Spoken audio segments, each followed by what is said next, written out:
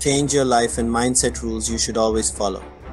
Stop telling people everything most people don't care and some secretly want you to fail. Choose your friends wisely. The fastest way to become better is to surround yourself with better people.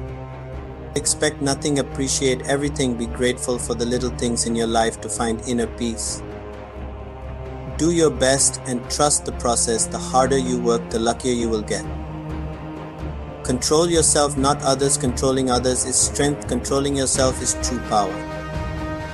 Learn to react less. When you control your reaction, nobody can manipulate you.